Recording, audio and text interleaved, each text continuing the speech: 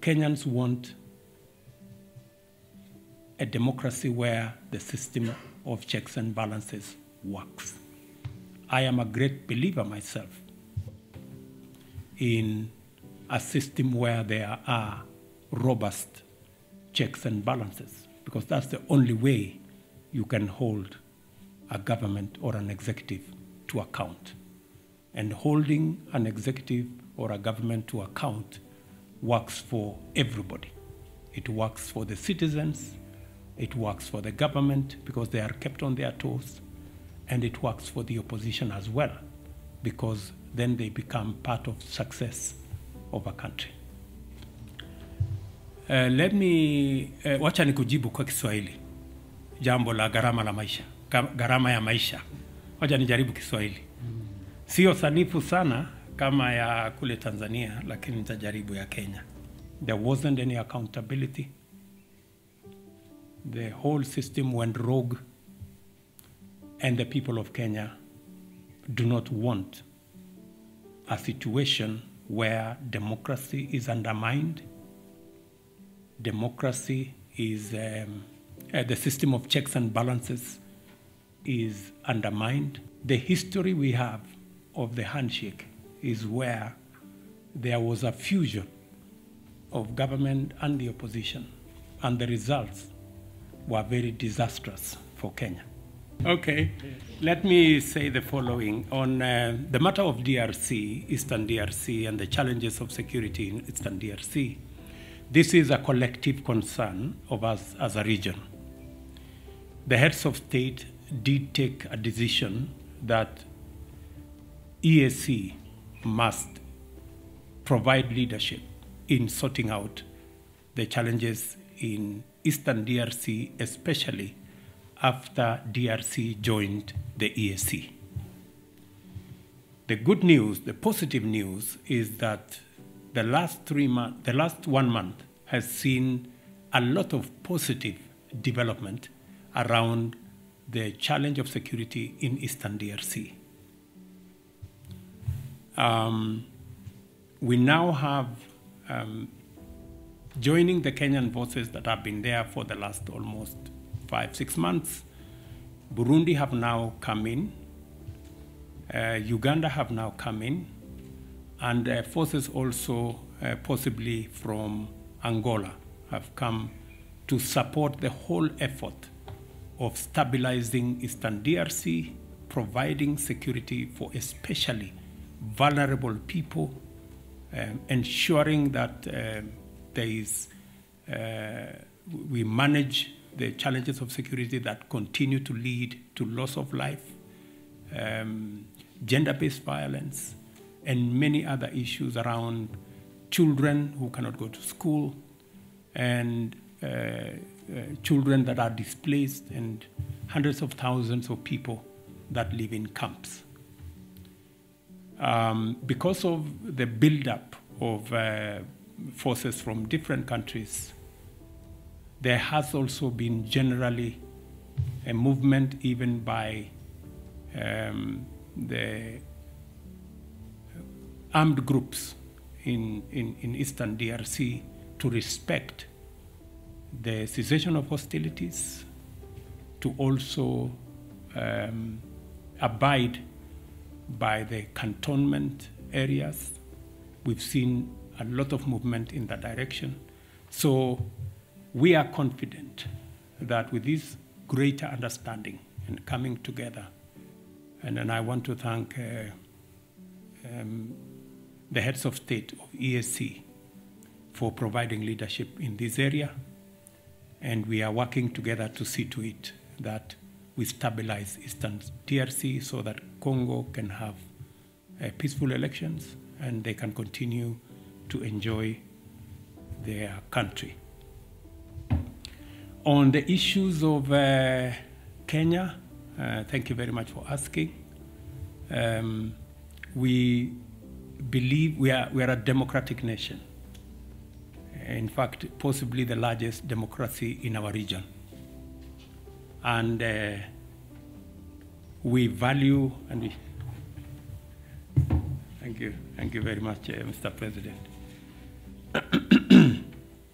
I think he, he, he realized I was struggling.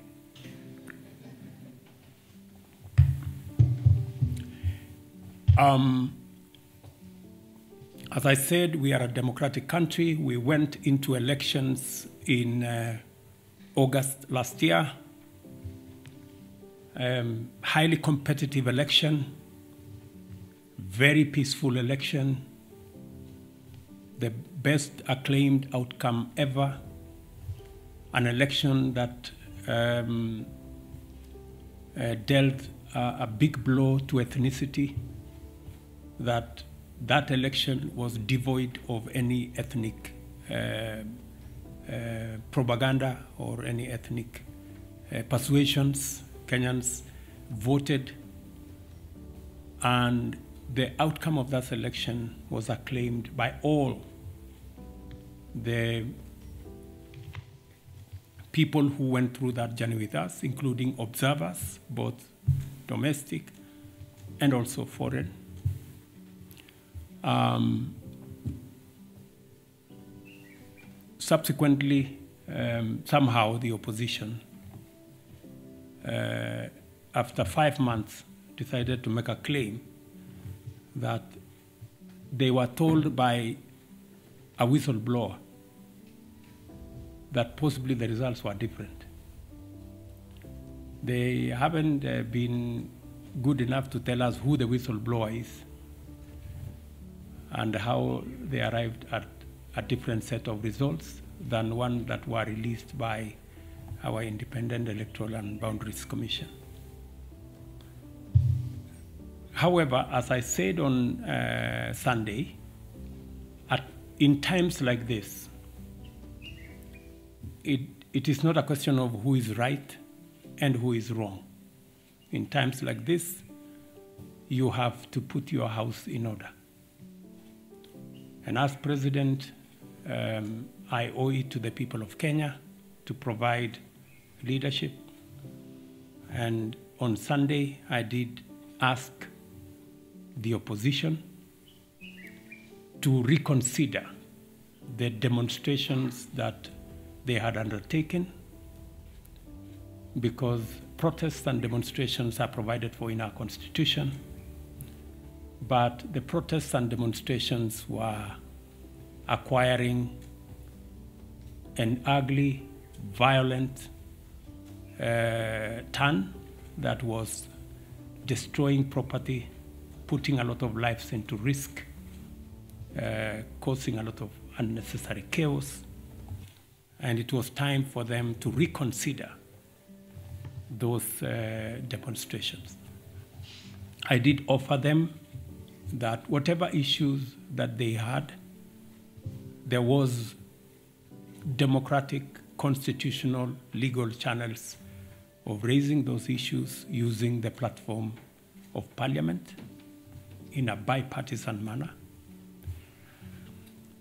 And that is the um, offer I made to uh, the opposition. Uh, you asked me a direct question whether there will be a handshake because of this situation. I want to tell you there will be no handshake. But there will be an engagement in Parliament on the issues that have been raised. Those that can Parliament can resolve, they will be resolved. And when I say there will be no handshake, uh, I, I know that there is a context, you know, like we were being told here, please have a handshake. Unfortunately for us in Kenya, a handshake has a different connotation. and that is the one that I am talking about. The handshake that brings the opposition and government into some conundrum and a mongrel and an outfit that is undemocratic, unconstitutional, and illegal. We are a democracy. And in a democracy, it is underpinned by a system of checks and balances where you have a government and an opposition. the history we have of the handshake is where there was a fusion of government and the opposition, and the results were very disastrous for Kenya. There wasn't any accountability. The whole system went rogue, and the people of Kenya do not want a situation where democracy is undermined, democracy is, um, uh, the system of checks and balances is undermined. Kenyans want a democracy where the system of checks and balances works. I am a great believer myself in a system where there are robust checks and balances, because that's the only way you can hold a government or an executive to account. And holding an executive or a government to account works for everybody. It works for the citizens, it works for the government because they are kept on their toes, and it works for the opposition as well because then they become part of success of a country. Uh, let me uh, wacha kwa Kiswahili jambo la garama la maisha, gharama ya maisha. Wacha nijaribu Kiswahili, sio sanifu sana kama ya kule Tanzania, lakini nitajaribu ya Kenya. Um, gharama ya maisha ni changamoto la kitaifa na ni changamoto la kimataifa pia, sio nchi zetu za bara la Afrika Mashariki peke yake ndio tuko na tatizo la gharama ya maisha kupanda. Ni tatizo la kimataifa, sehemu nyingi duniani, kwa sababu ya mambo mengi. Jambo la kwanza, tuko na matatizo yaliyotukumba ya eh, pandemic ya COVID-19, tukapata tena matatizo ya vita kule Ukraine na Russia, tukapata tena na matatizo makubwa ya climate change. Kwa mfano Kenya mwaka uliopita eh, magala yetu eh, tulikosa karibu um, magunia elfu kumi, eh, milioni kumi sorry, karibu magunia milioni kumi ya chakula hayakupatikana kwa sababu ya mvua ambayo haikutosha. Na ni lazima tufikirie mbinu kama serikali, ni vipi tutashughulikia tatizo hili? Tukiwa na changamoto za climate change, kukosekana kwa mvua, kuchelewa kwa mvua na mambo kama haya, na vilevile vile kukosekana kwa mbolea ambazo tunatumia, na ni vile tutashirikiana. Kuondoa kwa mfano um, yale matatizo tuko nayo ya mipaka, vizuizi katika mipaka yetu ambayo yanazuia chakula kutoka Rwanda kwenda Kenya, kutoka Tanzania kwenda Uganda na eh, changamoto kama hizo, na ndio sababu tuwe na maelewano kama yale tumeelewana hapa Rwanda ya uhusiano kati ya mataifa zetu, ndio tuweze eh, kusaidiana pale panapotokea changamoto kama ile ya matatizo ya njaa. Kawaida, kwa sababu sisi ni nchi za demokrasia, kuna watu ambao wanachukua changamoto kama hizo na kuzibadilisha zikawa ni mambo ya siasa. E, kama nafikiri umekuwa ufuatilia huko Kenya, kuna watu siku hizi wanavaa kofia juu ya kichwa, wanavaa sufuria. Na nimejaribu kuwauliza hii ndi, hii ni mbinu gani ya kuzalisha chakula? Ukiweka sufuria juu ya kichwa, sijui itasaidia kwa njia gani kuzalisha chakula na kuondoa njaa, lakini ndio, ndio hali vile wewe mwenyewe ulivyosema, ndio hali ya mambo. Um, again to uh, maybe uh, speak to uh, the issue raised about open skies, I think President Kagame has responded to you very well. It is not a matter of if, it is a matter of when. We will have uh, the reality of connecting our airlines and possibly even having one regional airline that will connect our capitals, our, our, our nations, and to be able to provide easy movement of people, ideas, goods, services. That's really where we are heading, especially as President said, in the context of Africa Continental Free Trade Area. That is where we are all going. The challenge we have in our region and in our continent is that of connectivity. We've made the first step to improve connectivity in communication. That's why we have one area network with Rwanda. It is our belief that the other uh, East African countries will come along as a building block towards reaching even where we are thinking on how we can bring our uh, space uh, into one area, have a regional airline.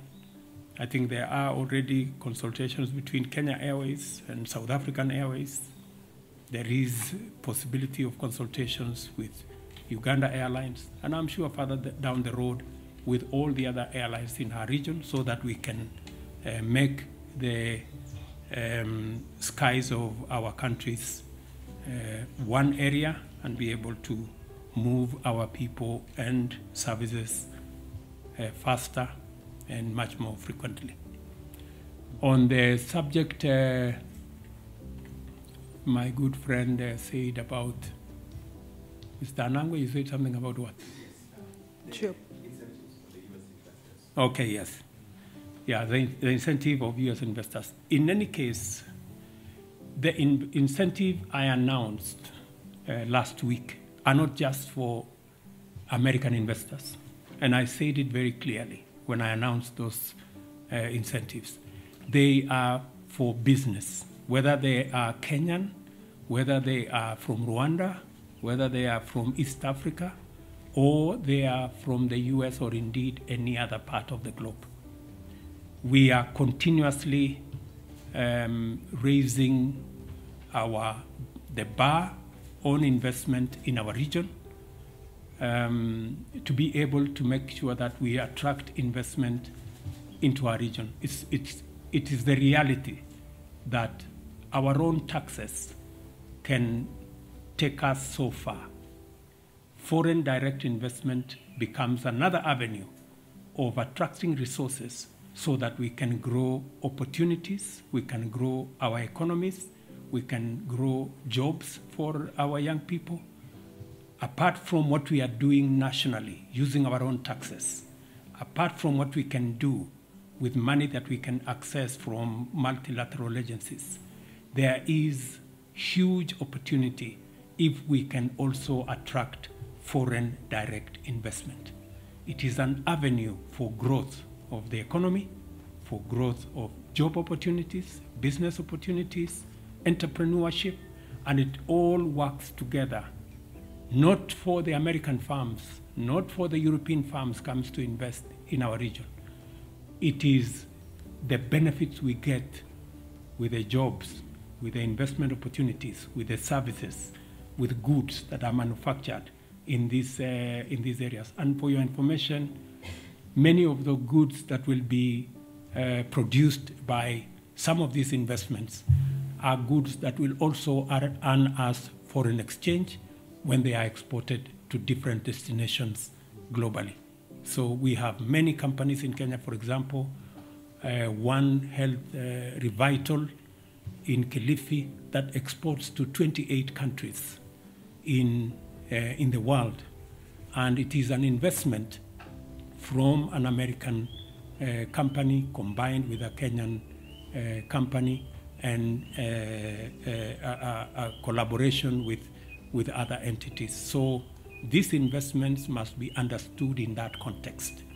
I know um, narratives are always created uh, around uh, these investments uh, politically, but this is the background that I have shared with you. Thank you, sir. I think we've come to the end